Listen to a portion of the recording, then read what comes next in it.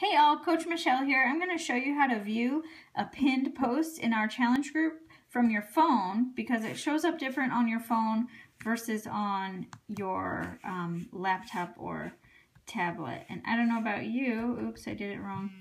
Uh, but I'll be checking mostly from my phone. So just open your Facebook app.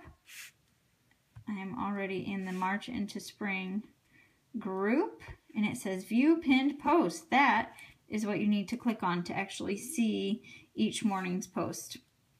So each morning's post will be pinned. It will show up at the top like that. So just click on that. And we're asking that you comment below each morning's post instead of creating a new post every day. It just keeps um, our group wall kind of clean and tidy. So if you have any questions, please comment below this post. Thanks, guys. Excited to be on this journey with you.